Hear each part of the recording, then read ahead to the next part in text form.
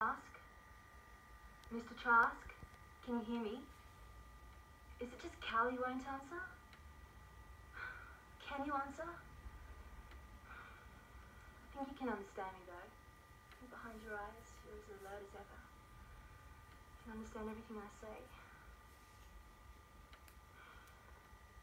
Mr. Trask, it's awful not to be loved.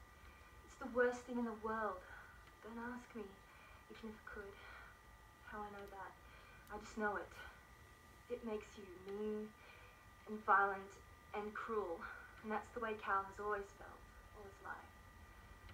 Maybe he didn't mean it that way, but it's true. You never gave him your love. You never asked for his. You never thing.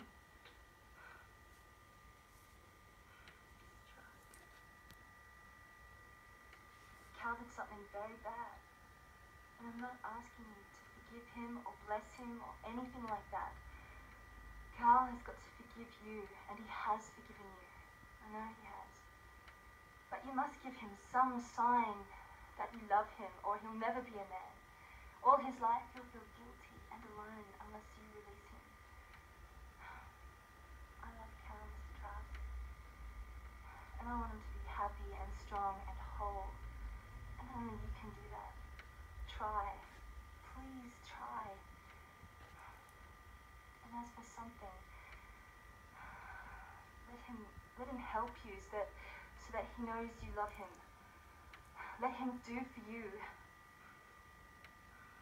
Excuse me, Mr. Trask, for daring to speak to you this way. If you hear me, but I had to.